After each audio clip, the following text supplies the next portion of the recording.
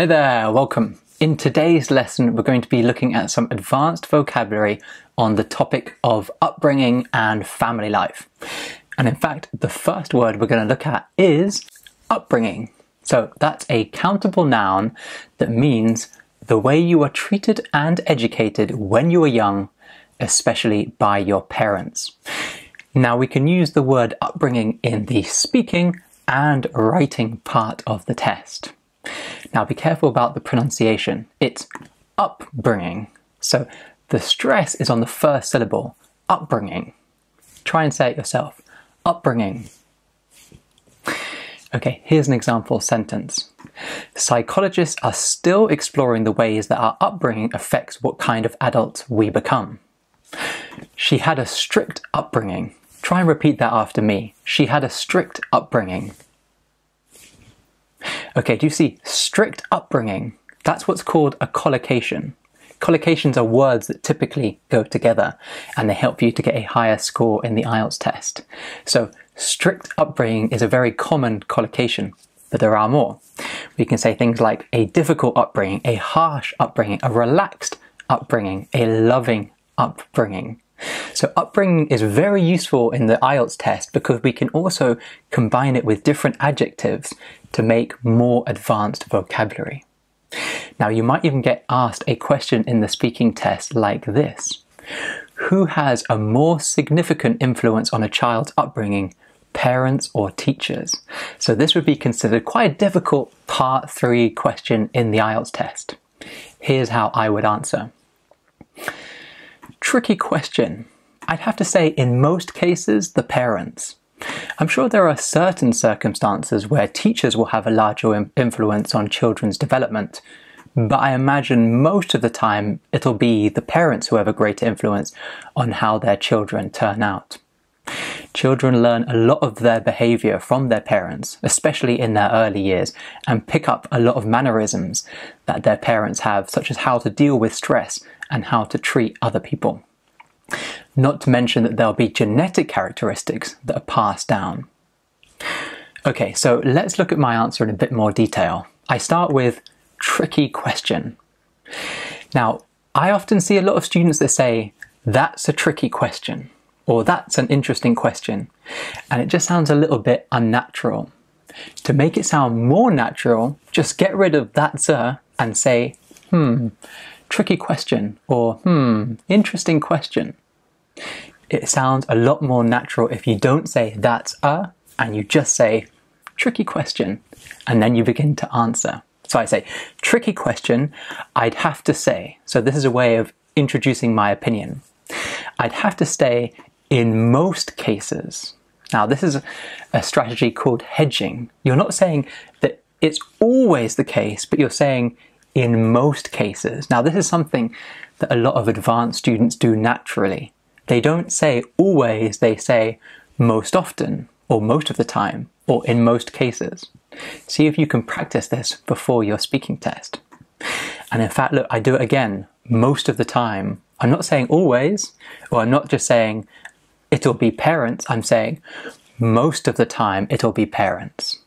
Okay. I've also got this turn out. So turn out is a phrasal verb which counts as idiomatic vocabulary and it can help you to get a higher score for lexical resource. So it means, uh, it says, on how their children turn out. So turn out here means um, how they become, how they develop, um, how they are at the end of their childhood. So turn out. I've also got this phrase early years, which means when they are young. Another phrasal verb, pick up. So you can pick up characteristics or pick up habits from other people, which means that you see those characteristics or those habits and you copy them. So you pick up characteristics, or in this case, pick up mannerisms from your parents. I've also got this collocation, deal with stress, which means um, how to overcome stress deal with stress, a very useful collocation, especially if you're getting ready for the IELTS exam. You need to deal with stress. I also have genetic characteristics, which is advanced vocabulary to say how um, our genes and our DNA and everything inside us affects who we are, how we act, and what we're like. So, genetic characteristics that are passed down. Okay, another phrasal verb. If something is passed down, it means it comes from our parents and then it comes to us afterwards.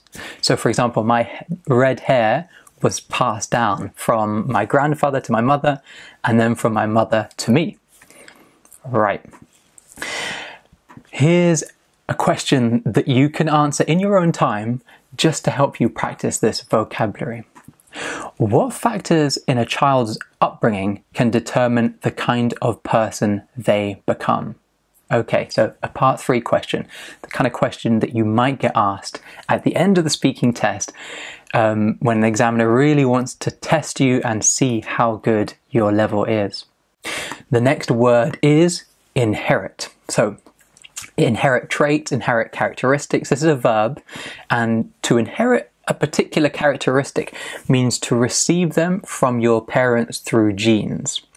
So, for example, um, this daughter below me has inherited her mum's love of cooking. So she's inherited her mum's love of cooking. Now we can use this phrase in the speaking test, we can use it in the writing test, and it's pronounced inherit. So the stress is on the second syllable, inherit. I inherited my love of music from my father. I inherited my love of music from my father. I inherited my red hair from my mother. Okay, so we can inherit characteristics, we can inherit traits as well. So traits are like mannerisms, behavior. We've also got an adjective form, and then there's also another verb, uh, or rather, another meaning of the verb, which means to receive money or property, especially when someone dies. So, for example, if your uncle dies, or sorry, if your parents die, then you might inherit their house. So, for example, here's this sentence She inherited a fortune from her mother. Her mother was very rich. When she died, her daughter inherited a fortune. So, inherit characteristics, but we can also inherit money, property, things like that. Now, you could get asked a question in, this, in the IELTS test like this Are you more similar to your mother or your father? Okay, so this is a part one question. I'd say I'm a pretty even mix of both. I certainly inherited my dad's love of music. My dad could spend all day listening to music, and I'm exactly the same. However, physically, I'd say that I'm a lot more similar to my mum. I look quite a lot like my mum. We've got the same nose and complexion, and our hair colour is similar. Okay, so I start with I'd say, that's I would say, a good way to introduce our opinion.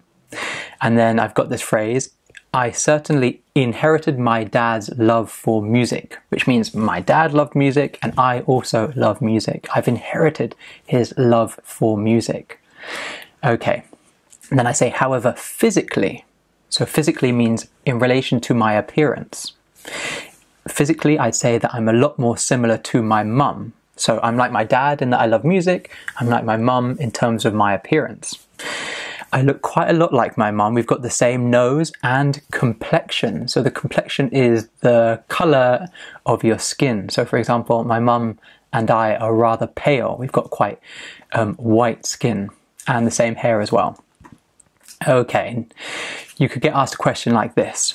What characteristics or qualities can people inherit from their parents? Okay, a difficult part three question. The next word is environmental factors. So this is the aspects of your upbringing that determine who you become. Now we can use this in the speaking and also the writing test. Now be careful with the pronunciation. It's environmental factors. Environmental factors. Environmental factors. As well as inherent characteristics, environmental factors play a large role in determining children's lives. Okay, so you can see just like this family, the parents love sport, and so because of environmental factors, because these children have grown up in a house full of sport, they might also be interested in sport. So you could get asked a question like this What environmental factors can affect the way that we develop? Here's how I would answer. Well, I guess there's a few different factors. Firstly, I'd say who we spend the majority of our time with has a huge effect on the type of people we become. I've often heard that we're basically a combination of the five people that we spend the most time with, so it's good to choose your friends wisely. Secondly, the wealth of your family probably has a fairly large effect on the type of person you become.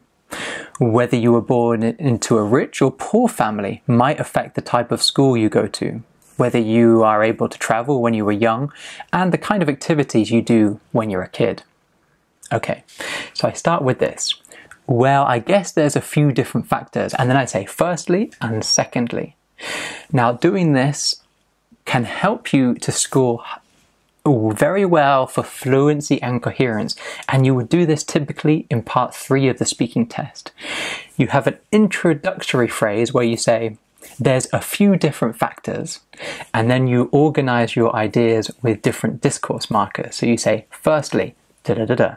Secondly, da da da da. In addition, da da da da.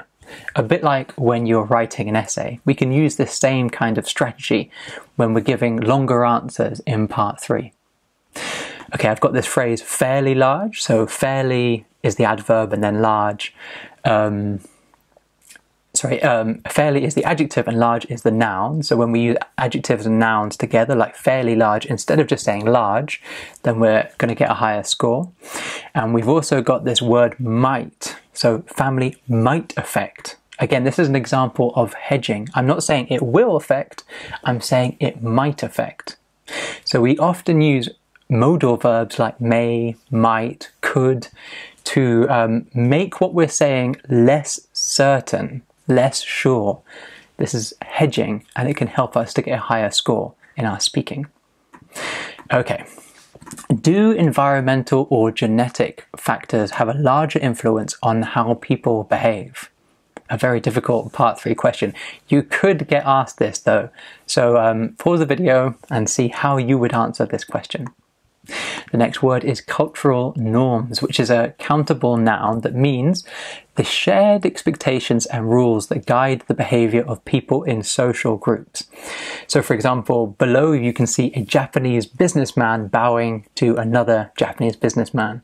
So, you probably wouldn't see this between two businessmen in the UK, but perhaps in Japan, this is a cultural norm. So we can use this in the speaking test, we can use it in the writing test, and the pronunciation is cultural norms. So cultural norms. When young people travel abroad, they need to get used to a new set of cultural norms and values. Okay, how can people learn about the cultural norms of a country when they are planning to visit? This question gets asked a lot in part three of the speaking test. Here's how I would answer. Well, one of the most straightforward ways is to read a travel guide. You can learn all sorts of useful information from travel guides such as the customs and traditions and how to behave in a polite and considerate way in a foreign country. Apart from travel guides, I suppose we can watch YouTube videos or speak to people we know who have been to the country that we're planning to travel to. Okay, so one of the most straightforward ways is so that's a good way to introduce your first idea. One of the most straightforward ways is. So straightforward means easy or simple. We can also say all sorts of. So you can learn all sorts of useful information. This is basically a synonym for saying lots of different information. All sorts of useful information. You could use this phrase with um, with other things as well, like I'm interested in all sorts of sports, which means lots of different sports. Or um, I love cooking. I like to make all sorts of food, which means lots of different types of food. Apart from travel guides, okay, so this is a good way of introducing a new idea. I've mentioned travel guides and I say, hmm, apart from travel guides, and then I introduce my next idea and I use this word, I suppose, which is a synonym for I think. I suppose and then I introduce my next idea. Okay, what are some cultural norms that exist in your country? So this is a part one question. Here's a part three question. is it important for people to respect the cultural norms of the countries they visit? So you'd likely uh, say, well, yes, I think it's very important. And the examiner will say, why? And they'll ask you to elaborate. Okay, the next word is out of touch. A bit like this grandma below me, she's out of touch. She's trying to be cool, but she's out of touch. So the opposite of this would be be in touch, and it out of touch basically means when you're not informed or you don't have the same ideas as most people about something. So we could use this in the speaking test, we can use it in the writing test, and the pronunciation is out of touch, out of touch. So we don't really pronounce that v very much. Out of touch, out of touch. Okay, out of touch. The V or the F that sounds a bit like a V is very quiet, out of touch.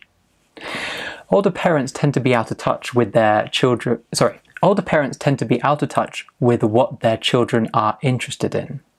So, out of touch with something or someone. Do you think that?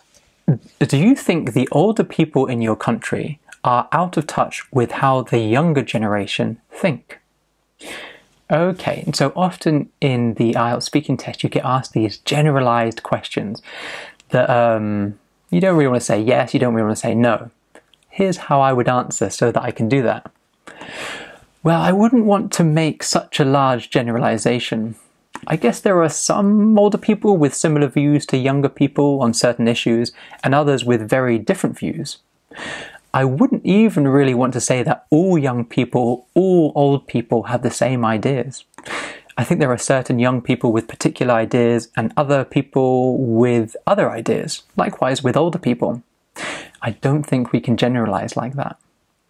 Okay, so I use this phrase, well, I wouldn't want to make such a large generalization. Now, this is a very useful phrase for part three of the speaking test. If you've ever done the IELTS test, you know that sometimes you get asked these slightly awkward questions, things like, um, are girls smarter than boys? Um, do boys and girls like the same toys? You can use a phrase like this. Well, I wouldn't want to make such a large generalization.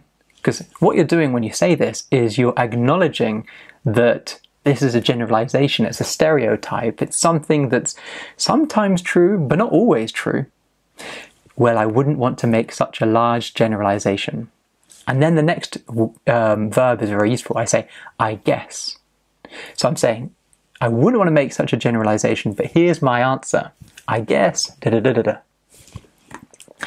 Again, I end with, I don't think we can generalize like that. Okay. Do you think politicians are out of touch with how the people in your country really feel? So this is a kind of very difficult part three question that you could get asked. Now you might get a question like this in the writing test. In some countries, differences in age between parents and their children is larger than it was in the past. Do you think the advantages of this development outweigh the disadvantages? Now you could use a phrase like out of touch. You could say, well, if there's a larger gap between parents and children's age, parents might be out of touch with how their children feel or think at a particular time of their life because there's a larger age gap. The next word is generation gap. So you can see the grandmother, you can see the granddaughter. There's a generation gap. Now, we often use this to signify a lack of understanding, so a lack of um, or different thoughts between older and younger people. This is often resulting from life experiences. So we can use this in the speaking test, we can use it in the writing test as well. Generation gap. Generation gap.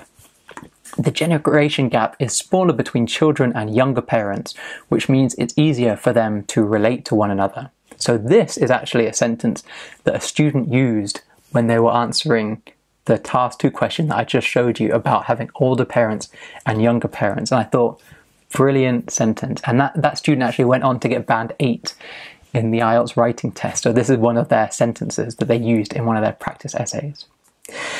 Collocations, we can say bridge the generation gap, which means um, to make the generation gap smaller. Okay, is there a large generation gap between the old and young in your country? I wouldn't say that there's an especially large generation gap in the UK. I used to live in China, and I'd say that there seems to be a much bigger difference between how the old and young think there compared to the UK. I guess there are certain things that divide the old and young in the UK. One example is the monarchy. Apparently, the monarchy is a lot more popular with older people compared to the younger generations. Okay. So ooh, I start with I start with I wouldn't say that there's an especially large generation gap. Okay. I wouldn't say that there's an especially large. So this is a very useful phrase. Um, is there a big difference between boys and girls? I wouldn't say there's an especially large difference between boys and girls. Um, are there, is there a big difference between domestic and international students?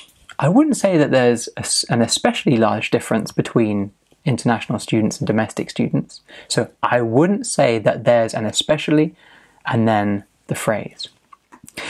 I used to live in China, which means in the past I lived in China, now I don't.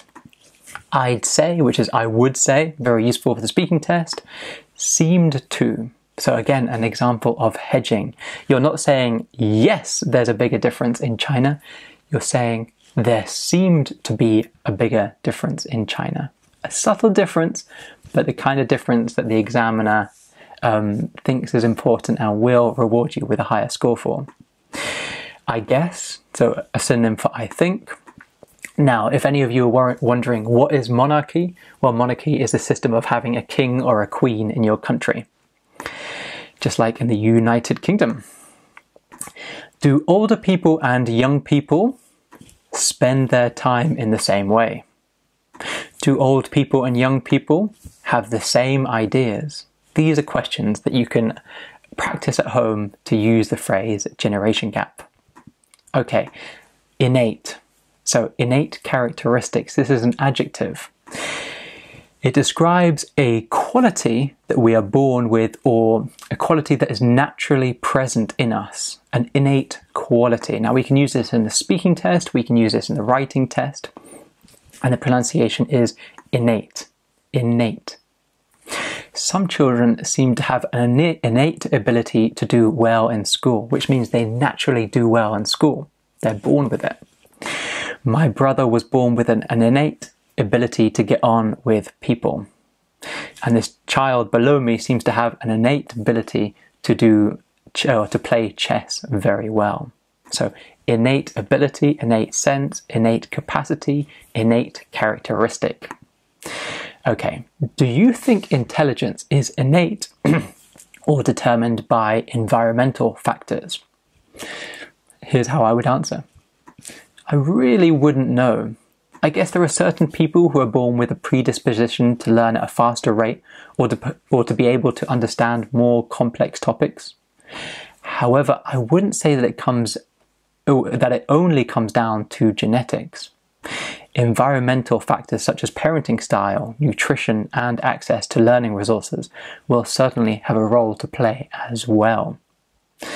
Okay, now I want to point out this. I really wouldn't know. In the IELTS speaking test, you're often asked questions that you don't know. You've never considered the question before. And I have no authority to say whether innate or environmental factors have a larger role to play with uh, children's upbringing. And I can say that in the test. I'll say, I really wouldn't know. But then what I do next is important. I have a go at answering the question anyway. So I really wouldn't know. Let me have a go at answering the question. Now I've got this uh, word predisposition. So I, the phrase is, I guess there are certainly people who are born with the predisposition to learn at a faster rate. So that means they've got this characteristic. Um, they've already got um, the conditions inside them to be able to learn at a faster rate or understand more complex topics. I've also got a phrasal verb, comes down. So, however I wouldn't say that it only comes down to genetics. So that's saying this is not the only factor. It's not only about genetics. There are other things that are important as well.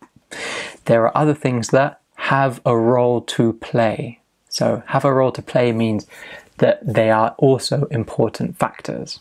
To have a role to play. Okay, do you think some children are innately more intelligent than others? Okay, so this is the exact kind of question where you could say, I wouldn't really know. And then you give your answer anyway. That's the important thing. The next phrase is raise children. So a verb that means to take care of children until they're completely grown. Now we can use this in the speaking test, we can use it in the writing test as well. Raise children. Parents in different countries often have very different methods of raising their children. So we can say raise children, we could also say raise a family or raise someone, like raise our son, raise my daughter.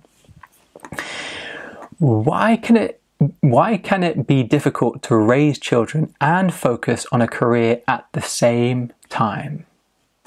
Well, because both pushing a career forward and raising children require a lot of time and energy.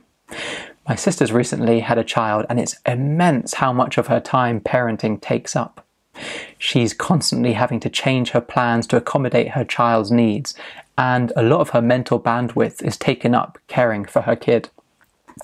I'd say, unless you have a lot of help, it's almost impossible to de- dedicate a lot of energy to your career and raising a family or a newly born child at the same time. Okay, so time and energy. This is a binomial. It's um, a word um, like apples and pears. Words that often come together, up and ups and downs, time and energy. So you can use that um, in your speaking test. You can say children take up a lot of time and energy. Time and energy. In fact, children take up a lot of time and energy. That's the next word I want to show you a phrasal verb to take up time and energy. So here it's take up time, which means um, requires or uses a lot of time. Or you could say take up a lot of energy, which means uses a lot of energy. We've also got this phrase mental bandwidth. So a computer has bandwidth. It's the ability um, to, for example, download a lot from the internet or to operate very quickly. So I'm using this in a metaphorical sense to say um, you need a lot of mental bandwidth. So the ability to um, to spend a lot of time thinking and um, to to be able to think quickly. And if you have children, especially if they're very demanding children, you don't have so much mental bandwidth because your all of your thoughts and all of your thinking is absorbed with the child.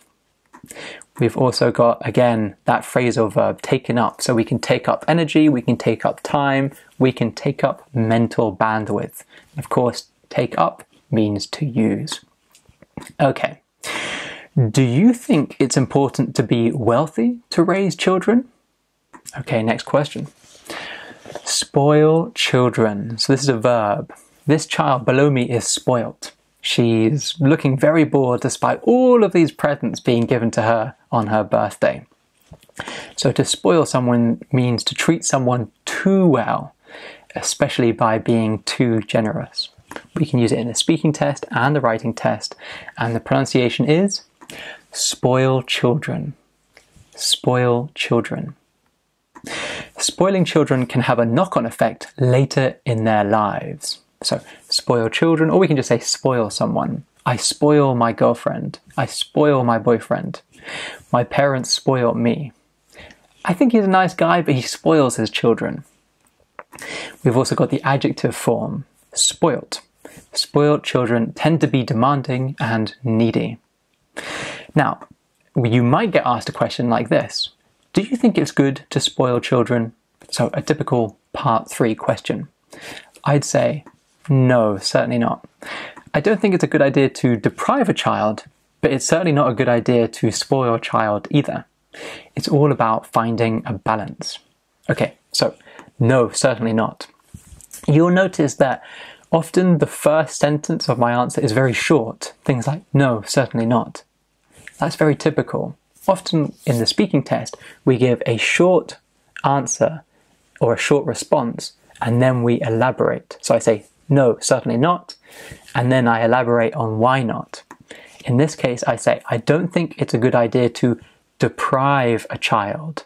So, deprive means um, you don't give a child the things that they need. If you deprive a child, they don't get presents on their birthday, they don't get more food if they ask for it, you're depriving a child. So, I say it's not a good idea to deprive a child, but it's not a good idea to spoil them either. It's about finding a balance. Okay, here's a question that appeared in the IELTS writing test recently. Some parents give their children everything that they ask for and allow them to do what they want. Is this good for children? What could be the consequences for these children when they grow up? Okay, so obviously we're talking about spoiling children, and you can say that. You can say, well, I don't think it's a good idea to spoil children. Now, in this case, it says, the, the question says, um, give children everything that they ask for and you're, you're using the word spoil. These are paraphrase, they're synonym phrases. And that's going to show the examiner that you've understood what the idea of this um, question is and that you can use synonyms correctly. High score in IELTS writing. Okay, learned behavior is the next phrase the behavior and characteristics that we learn as a result of experience. Now, you might be thinking, what on earth is, does this dog below have to do with learned behavior? Um, and the reason I've put this image is have you ever heard of the experiment um, or the study um, Pavlov's dogs experiment, I think it's called? And basically, what they did is um, the scientists would ring a bell and then give the dog a treat. And then next week or the next day, they would ring the bell and they'd give the dog a treat. And then this continued for a long period of time until one day they rang the bell and they didn't give a dog a treat. And then they watched the dog start to salivate. So a lot of saliva. The dog was clearly very hungry. And that's because the dog had um, learned the behavior that when they hear the, this bell, they're used to getting a treat, a snack, something to eat. So that is learned behavior. We can use this in the speaking, the writing test, pronunciation, learned behavior, and we here's an example sentence. Learned behavior from teachers can have a large impact on the way children develop. Okay. What learned behavior did you develop from school? I'd say I developed the ability to organize my time well. I had a lot of classes and a lot of homework on top of that, I wanted to spend most evenings skateboarding with my friends, and I think that helped me to learn how to organize my time well. If I wanted to go skateboarding, I had, I had to have done all of my homework first. Okay, on top of that is the phrase I want to show you here. It means in addition. So, I had a lot of homework and classes. On top of that, I wanted to go skateboarding. So, on top of that means in addition or additionally. Okay, once children start school, teachers have more influence on their intellectual and social development than their parents. To what extent do you agree or disagree? So, in this essay, you can talk about learned behavior from their parents or learned behavior from teachers. Peer influence. So, this is an adjective that means the influence that people of the same age or social position have on each other. So a peer is, for example, your colleagues or the people that you study with or members of the same social class as you. Now we can use this in the speaking and the writing test. Pronunciation, peer influence. So influence. The word influence has the stress at the beginning. Influence. Peer influence has a large impact on a student's ability to perform at school. So we can talk about peer influence, we can also talk about peer pressure. So peer is a noun, a countable noun, and here's an example sentence. Children are more influenced by their peers than their teachers. Okay. Which do you think has played a greater role in your development, parental or peer influence? So this would be considered a very difficult part one question. Here's how I would answer. Hmm, difficult to say. I think it has varied at different phases of my life. When I was a kid, I'd say that I was more influenced by my parents. I learned a lot of my mannerisms from my parents, and they played a large role in my development. However, I'd say I was more influenced by my friends during my teenage years. That's probably pretty common. During our teenage years, we tend to spend much more time with our friends and we often emulate the way our friends dress and behave. Okay, let me show you some features of this answer. I say, hmm, difficult to say. Okay, so again, I say difficult to say. I don't say that is difficult to say or that's difficult to say. Remember earlier on in this lesson, I said instead of saying that's an interesting question or that's a tricky question or that's difficult to say, we just say the last part tricky question, interesting question, difficult to say, and then we go on to give our answer. So that sounds more natural. I think it has varied at different phases of my life. So, different phases mean stages of my life. So, um, childhood is one phase of your life, adolescence, your teenage years is another phase of your life, adulthood is a phase of your life, retirement is a phase of your life. We've got this phrase tend to, which we came across earlier. It's a way to hedge our answers. Very good. And we've also got this word emulate. So, emulate means to copy. So, if you emulate someone's behavior, you copy their behavior. Once children start school, teachers and other students have more influence on their intellectual and social development than parents. To what extent do you agree or disagree? Okay, so a typical question in the writing test. The next word is infancy. Uh, okay, a bit like this baby before, it's the time when someone is a baby or a very young child. We can use it in the speaking test and the writing test as well and the pronunciation is infancy. Infancy. Many parents spoil their children during their infancy. So, during infancy or in infancy. And we also have the noun or the adjective infant. Many parents treat their adolescent children like infants. So, adolescent children means teenage children, and some people treat their adolescent children like uh, infants means some people treat their teenagers like babies. Okay. What difficulties are there when raising children during their infancy? Wow, a never ending list. There's all sorts of difficulties with infants. They're constantly getting sick, falling over, getting hungry, and crying without the ability to communicate why they're upset. I've got a huge amount of respect for parents of newborns. Okay, I just want to point out this word newborn. So it basically means a baby that is newly born. A newborn, simple. Um, so, yes, newly born baby, a newborn. Let's move on. More and more parents today are allowing their children to play on a computer or tablet because they think children need good technology skills. Do you think the advantages of this development outweigh the disadvantages? So, this was a question that appeared in the writing test recently, and you can use the word infancy.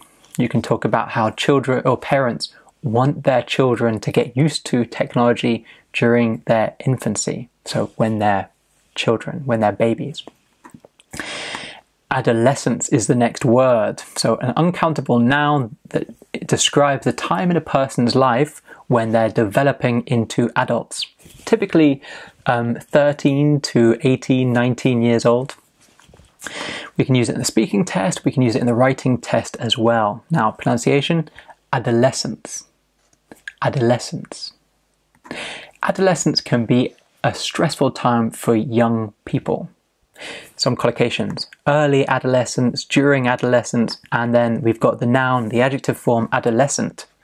Many parents treat their adolescent children like infants. We saw that sentence earlier when we were talking about infants.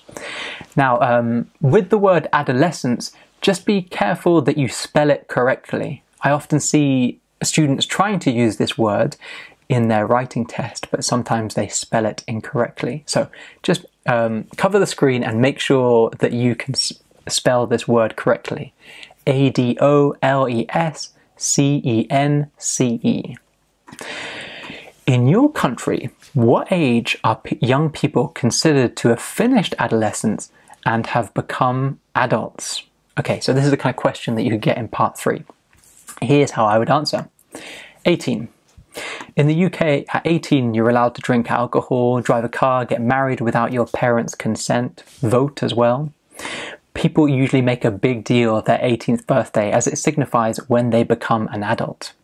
Okay, make a big deal of something. So, uh, if you make a big deal of something, it means you show that it is important, or important to you at least some people make a big deal of their 18th birthday. They show that it's important and they want to have a big party, perhaps with inviting lots of people, maybe a DJ, maybe a huge banquet where lots of people eat. Some people in America that are very rich might even in, invite Snoop Dogg to sing at their 18th birthday.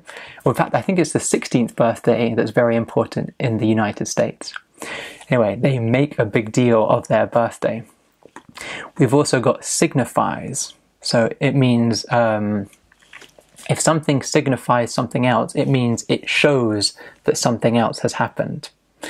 So um, your 18th birthday signifies that you have become an adult. It shows that you have become an adult. It's it's like signifies comes from the word signal. What can be difficult about going through adolescence? I don't know if you'd really get asked this question, but um, it's just the exam- an example of the kind of question that you could get in part three of the speaking test.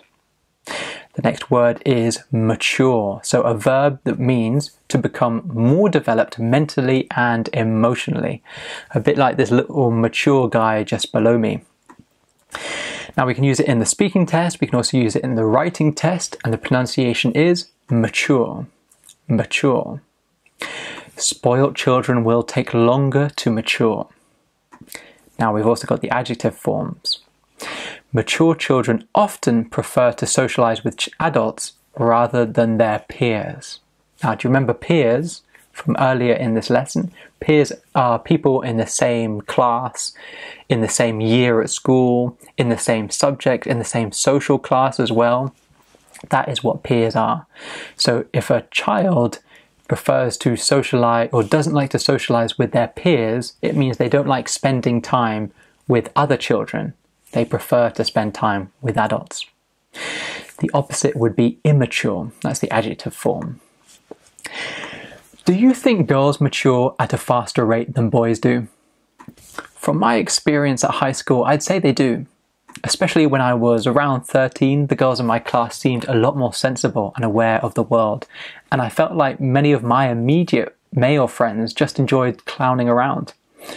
I might have just been in an immature group, but it certainly seemed that way.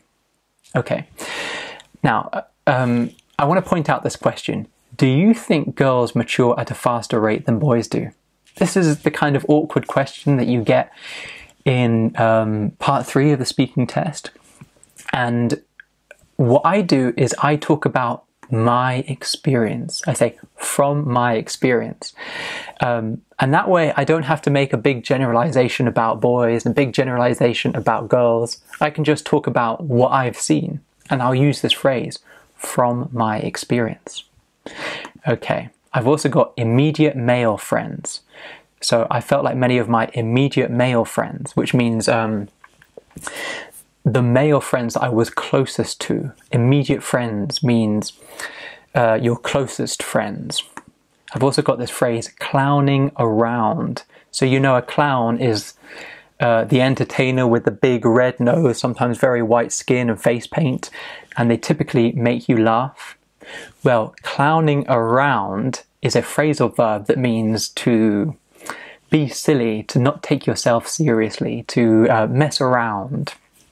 So, my friends and I used to clown around in class. We were very immature.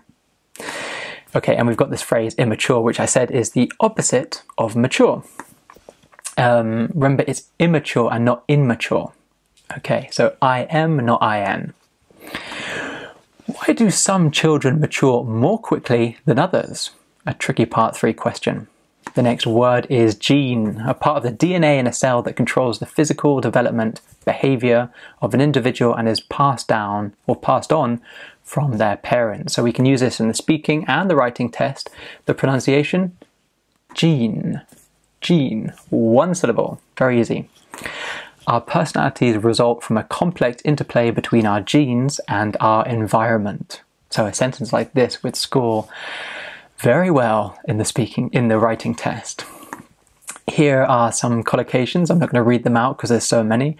Here's a noun form and here's an adjective form. You can see I'm starting to get a little bit more lazy as we go through this lesson. Remember, you can always pause this video and read, or you can just download the PDF that I'll put below this lesson. Do you think gene editing will become more common in the future? I really wouldn't know. I imagine that it will. As far as I know, gene editing is already used quite regularly in agriculture and also to treat genetic disorders. Perhaps as the technology develops, it will become more common and be used in more cases. I've heard of a company called CRISPR, which I believe is gene editing is a gene editing company, but I don't really know the full extent of what it does. Okay, I've got this phrase, I really wouldn't know. I imagine that it will. Repeat that after me. I really wouldn't know. I imagine that it will. Okay, do you hear that? I imagine that it will. So this is a good phrase again for those tricky part three questions. I really wouldn't know. I imagine that it will.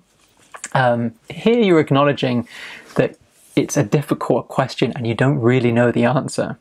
But the important thing is you don't just say, I don't know, and then wait for the next question. The important thing is you have a go answering the question. Now, I've also got this phrase, as far as I know. So that's like, in my opinion, but also acknowledging that you don't have all the answers. As far as I know. Okay, and you see, again, the intonation is important. As far as I know. As far as I know. So it goes up on the I. As far as I know. Um, perhaps as the technology develops, it will become more common and be used in more use cases. So, um, in more uses, basically, that's what that means. Do you think it's likely that in the future people will be able to alter the genetic makeup of their children? I would hate to get asked a question like this in the part in part three of the speaking test. But who knows, you might get asked a question like this, so just prepare now before you go into your real IELTS test. The next word is phase, a stage in a process or development. We can use it in the speaking test and the writing test, and the pronunciation is phase. Many adolescents go through a rebellious phase. Here are some collocations. Again, pause the video if you want to go through them, or just download the PDF below this lesson. Did you ever go through a rebellious phase during your adolescence? Not really, no. I guess I did things that could have been considered rebellious, such as skateboarding and staying in the city centre until late. However, my parents were rather lenient, and so I was never really breaking any rules. I had a lot of freedom as a teenager. Okay, again, I've got that short answer and then a longer response. Not really, no. And then I elaborate. I guess I did things that could have been considered. So, that could have been considered. This is the passive form. That could have been considered by other people as rebellious. So, passive is very useful. Maybe not so much for the speaking test, but certainly for the writing test. Now we've got this phrase or this word lenient. Lenient is kind of the opposite of strict. If you have lenient parents, it means that maybe there's not so many rules or if you break a rule, it's not too much of a problem. They're very lenient, they're very relaxed about the rules, a bit like my parents. What are some different phases that children go through as they mature? Okay, you can practice that in your own time. We're going to continue with the next word, which is adoption. So you can see these two parents have adopted a child. The act of taking another person's child legally into your family. We can use this in the speaking test and in the writing test. Pronunciation, adoption, adoption. Okay, so the stress is on the second syllable, adoption. Adoption is becoming more common in certain countries. Now we can say put up for adoption. So very good collocation. We've also got a verb form, to adopt. Is adoption common in your country? Yes, I'd say so. To be honest, I have no idea about the official statistics or how they compare to other countries, but anecdotally, I know a lot of people that were adopted or have adopted kids of their own. Okay, yes, I'd say so. Look, again, the short response and then the longer elaboration. So, yes, I think so, and now I'm going to elaborate on why I think so. I've got the phrase to be honest, very good, and then I have no idea about the official statistics. So, this is a great phrase that you can use. Um, I have no idea about the official statistics, but anecdotally, anecdotally, so that means um, from my experience or f- from what I've heard from other people, um, what people say, but anecdotally. Um, and then you can say what you believe. Okay, what kind of difficulties does adoption address? A very tricky part three question. The next is nuclear family, a social unit of two parents with their children. We can use it in the speaking and writing test. Pronunciation nuclear, nuclear family, nuclear.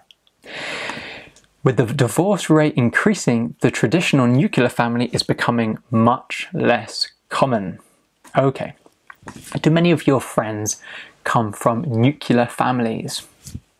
You know, not that many. I know it's the typical family dynamic that is expected, but it certainly seems the case that more and more parents are separating. I think uh, if I think about my immediate friendship circle, I'd say the majority of their parents have separated or remarried. Okay, you know, not that many. You know, so you know is a very colloquial term, but we can use it in the speaking test. You know, not that many. Um, I also talk about my immediate friendship circle. So remember earlier we talked about immediate friends, as our closest friends. And we can also talk about a friendship circle, which means the friends around me. So if I talk about my immediate friendship circle, I'm talking about the closest friends around me. Immediate friendship circle. Okay, you could get asked a question like this Why do you think traditional nuclear families are less common nowadays compared to the past? The next word is single parent family, a family that includes either a mother or a father, but not both. We can use it in the speaking and the writing test, and the pronunciation is single family. Single family. It can be tricky for single parent families to juggle raising the children and earning a living. What could be difficult about being a single parent? Well, there's a few difficulties, many of which are made more difficult if there aren't other family members around to help with raising the children. Firstly, there's the financial difficulty. It can be very difficult to work and raise a family full time. That can put considerable strain on a family's finances. Secondly, it's just exhausting. Without other family members to help, many of the parenting responsibilities fall to just one person. Things like taking the child to school, picking them up, preparing meals, putting the children to bed, that sort of thing. Okay, well, there's a few difficulties, and then I've got firstly and secondly. So, a good way to organize my answer. Well, there's a few difficulties. Firstly, da da da. Secondly, da da da. In addition, da da da. That's going to help us get a higher score for fluency and coherence. All right. Why do you think single parent families are more common these days? The next word is extended family. Families that include grandparents, aunts, uncles, etc. We can use it in the speaking test and the writing test.